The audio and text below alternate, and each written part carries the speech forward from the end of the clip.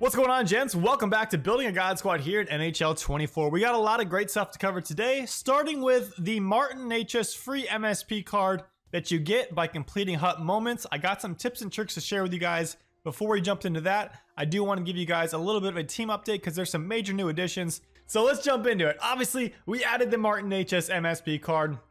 I have not even used this card. Full disclosure, have not used this card in online yet. I literally grinded out the Hut Moments and didn't have any energy left in my brain to try to go play online. But look at this card. This thing looks phenomenal. I'm going to start using all the abilities active, get a feel for how the card is. Stay tuned for the next episode in this series. I'll share my thoughts. I can't imagine this card is anything but spectacular. Also, guys, I am planning on pumping out this series as well as other content a little bit more frequently over the next few weeks. January is typically the most fun time of year because of Team of the Year because of Christmas and holiday people getting the game and playing for the first time of the year. It's usually the most popular that this game is. January is always the month that has the most players in it. And typically, in terms of content, from what I've heard, this is my first January making content, I believe. I'm not sure about that. Maybe I did a little bit last year, but that would have been like my very first videos. Uh, this is my first like full-time making content, and I'm excited to to see how how people like all the stuff. Um, whether you're new players or whether you've been playing all year and you're excited for Team of the Year. Second line looks the same. Third line, we added in Joe Sakic. This card has been a little disappointing. I started in my top six, and he just didn't quite cut it out for whatever reason. I didn't play well with him, but he does have 99 faceoffs, so he can, he's going to stick around on the squad, obviously. I'm just realizing that this Teuvo Teravainen card is all the way up to an 89 overall now. He is getting up there. I'm glad I made this card because it should get to 99, and he's going to have a spot on my team probably all year. And here's how the fourth line is looking. Again, I got a Nations of Hockey card in there just to help work with the objectives. On defense, we got a Coin Regeer. We had the newly acquired Seth Jones. In my opinion, this is the best Christmas card. Obviously, it depends on what your team kind of needs because there's some other options that are definitely decent. But I felt like Seth Jones pairing with Bobby Orr is just going to be a solid complement to round out the top four here. And then I have base Cale Makar and Nick Lidstrom still. I'm planning on adding a right-hand defenseman to really shore up the defense come team of the year time. I'm hoping for, I, am guessing that we're going to get either an Erik Karlsson card and or even a Cale Makar card. So one of those guys, if not both, are going to be joining the squad if I can make it work financially in terms of in-game financially. Um, and then last but not least, we had a huge poll, literally six foot six Jacob Markstrom card, 86 overall, live moments card. We're gonna try him out. He should be okay, but he has a goalie, so he's probably gonna just be terrible like every other goalie in this game. I've had some ups and downs with Markstrom cards this year, so we'll uh, we'll give him a give him a try. He does have a couple of good synergies with speed boost and acceleration boost which are really good synergies that are still pretty hard to activate. My guess is this card might actually go up in value over the next few weeks because as people are adding those Team of the Year cards, and obviously those come with a lot of synergy slots, maybe people really start focusing on getting these types of synergies active. And then if you can get a six foot six goalie that has one of each, that could be a good buy. He's also got some pretty good abilities here as well. So I'm gonna try him out. Last but not least, Got to have the Nations of Hockey backup goalie to work on those objectives. It's just free power up collectibles, guys. I don't know why anyone would not do that. Get your free power up collectibles. Make sure you got, you know, at least one or two guys on your squad from the Nations of Hockey event. And then obviously they have a chance to upgrade as well. All right, gents, next up, we're to get into some tips and tricks for the Necas MSP Hut moments. So as you can see, I have all of the moments done. Going to be honest with you guys, this one was pretty challenging, a lot harder than that Giroux card earlier in the year. This took me about two hours of total gameplay time to finish. I did the first two hut moments the day that this card came out. Struggled with it a little bit, but it wasn't too bad. I tried the superstar hut moment one time, didn't do very well, and I called it a day. There's no need to stress over and grind out and sweat on these Hut moments. It's just not worth it, guys. If you're really struggling, take a breather, come back to it the next day. I would recommend spending maybe an hour a day working on these. The card's still going to be there. If you're not super good at this game, it is going to be hard to do all these objectives. It really is. So I would put maybe an hour a day if you're really, really struggling. Or hopefully these tips and tricks can help you out and you can get it done. So first up, the gameplay in Hut Moments is different than any other gameplay in Hut, which is kind of weird. Um, I'm not a huge fan of it. They make it very arcadey, which is unfortunate because you can't just play the game and you can't just play hockey and get these objectives done. You kind of have to cheese it up and you got to utilize some of these tips and tricks to, uh, you know, just manipulate the game. And to me, that's not very fun. It, it is really unfortunate. Once you get the puck in the offensive zone, the AI will just absolutely obliterate you if you get within five feet. They also have like these super automatic poke checks to hit the puck off your stick every time. So you really got to cheese it up and use these glitch goals and use these just dumb strategies. It's unfortunate, but it is what it is. Uh, hopefully going forward, maybe they can change it to make it more like squad battles. Like if, if this setting was just in a squad battles, squad battles type feel, it would be it would be awesome. And I personally wouldn't mind. Like I would way rather have the objectives be even harder to do, but put into a squad battles type feel instead of this arcadey game that we have in Hut Moments.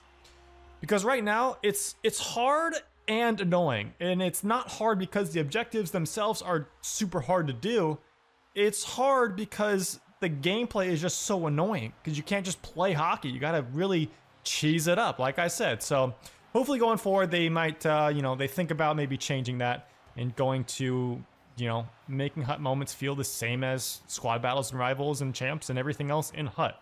Don't know why it's different. So with that being said, we're going to start with some very general tips. If you are struggling, I would recommend just focus on one objective at a time. It sounds so simple, but it's going to be hard to do all three objectives in each of these moments in one game. It's just probably not going to be possible. And really, it's probably going to be even more time effective if you just focus on that one objective at a time because you'll actually get some objectives done as you go. And you'll probably even get some games where you are getting a couple done in at one time. I would focus on one objective, maybe you get it done the first half of the game, then move on, try to focus on the second objective. I know a couple times I was doing that and I just happened to get two done in the same game because I was just focusing on the one. Also, keep in mind, guys, that the strategy settings is going to default to something weird. It defaults to overload. So if you're not familiar with overload, if you're used to behind the net, which is what most people run on with like online games, and even in squad battles, I find that to be the most effective. Make sure you're switching those settings when you're going into these Hut moments. It defaults to overload. It also defaults to um, a less high pressure forecheck. I would recommend going with a 2-3 super aggressive forecheck, the 1-2-2 blue. That way, if you can get full pressure active, your AI players will actually try to forecheck and try to get that puck back. Otherwise, it's a, an, an easy automatic clear for the AI defense. And speaking of full pressure, it sounds super obvious, but it is something you should think about. Just try to get full pressure active before you go for a goal. Um, that is, if you are struggling to score goals, just get that full pressure active. Unfortunately, like I already said, you kind of got to cheese it up because of the way the arcadey feel of Hut moments and the way that you get absolutely obliterated if you get within five feet of a defender. You just gotta, I would get the puck with Necas, use those, that, that silver unstoppable force, that silver elite edges, that gold wheels that he has, and just do laps in the offensive zone. It's unfortunate, it sucks that you gotta do this, but just do that, get full pressure active, and then there's a couple of good ways to score with full pressure active. It's gonna make scoring obviously a lot easier. I would recommend getting the puck in the corner or coming from behind the net, cycle up or kind of circle up to the high slot and take a wrist wrister far side. Typically, far side high goes in very easily, but if you do need to work on that final objective with the um, the low right hand shots, you could try to bank it in off the post as well. That bottom right corner goals with Necas in the final objective or the final uh, hut moments, it will count basically the entire bottom half of the net. So it doesn't have to be super low uh, again, like along the ice or anything. So keep that in mind. Another very effective way, maybe the most effective way to score goals in these Hut moments is to get the puck with Necas and just utilize those gold wheels. Get the puck in your own zone, beeline it down the boards, just go around the defenders, go backhand, forehand, backhand, bury the biscuit. You can also start going along the boards and then do kind of like a 45 degree cut along the ice. You can cut through the middle of the D or cut all the way around the far side D and do the same thing. Forehand, backhand, forehand, or what usually works better is backhand, forehand, backhand. Also, you could just enter the offensive zone, cut to the middle, and then shoot far side. That typically works as well. Last but not least, I want to share some tips for specific objectives. So if we're looking here at the superstar hut moments, we got get assists with Martin Necas. I would recommend turning your settings to crash the net. That way, when you do have the puck with Necas, your AI players are going towards the net. And typically here, you just want to set up for like a two-on-one, get the puck when they just go through everyone, stall a little bit, try to hit your guy coming back door. And uh, it, it that's how I got both of mine. It wasn't too hard. And then finally, probably the hardest one for most people is scoring the bottom right-hand corner goals with Necas. Like I already said, utilize those goals that I mentioned. For this one in particular, I would recommend going with a player lock. Player lock as Necas, and it makes it a lot easier. For me, I got all three of my goals, just getting the puck in my own defensive zone and beelining straight through or around the defenders, backhand, forehand, backhand, and easy goals. Also, actually, I think one of them might have been getting the puck in the corner and then just coming towards the net and going far side low. It's not too hard with player lock. I actually got that done first try. Without player lock, I was struggling a lot with those bottom right hand corner goals. With player lock, and with that being the only objective I cared about, it was easy to do. And boys, if you are still struggling to score goals, remember that if you have a one or two goal lead in the final minute, the AI will pull the goalie. So what you got to do is A, you can't have more than a two goal lead, okay? So if you do have more than a two goal lead, you can just pull your own goalie and go score a goal on yourself. It takes five seconds of game time. Make sure you only have a two goal lead or less. Let them win the faceoff in the final minute. Try to get the puck back as soon as you can. And then, based on whatever you need, try to go get a goal. Obviously, the closer you are to the net, the easier it's going to be to like pick that bottom right hand corner or just hit the open cage. But typically, even with these lower overall cards, if you're trying to get like an assist with Necas, you get the puck with Necas, give it to your 72 overall silver line mate. And as long as you're in the zone and you have a clear lane to the net, try to get across the blue line and then just wrist it center net and it should go in. Um, just don't get it blocked, right? Um, it's not it's not too hard.